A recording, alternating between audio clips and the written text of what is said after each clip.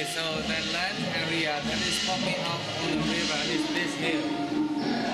Is this hill. Oh, okay. So that's why we there's a pagoda on that hill. It is